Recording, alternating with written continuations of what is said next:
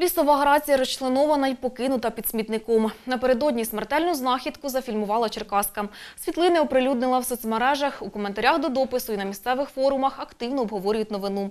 Із найпопулярніших версій – браконьєрство. Погоджуються у цих підозрах і лісничі. Наголошують, сезон полювання на косуль закрили ще 31 грудня.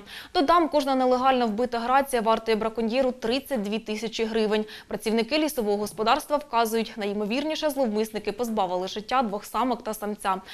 Якщо в перших виявлять ембріони, то за кожний мисливці мають заплатити ще по 16 тисяч. Винуватцям інкримінуватимуть незаконне полювання. Як мінімум, ті відбудуться штрафом. Чи відкрито в поліції кримінальне провадження, поки невідомо.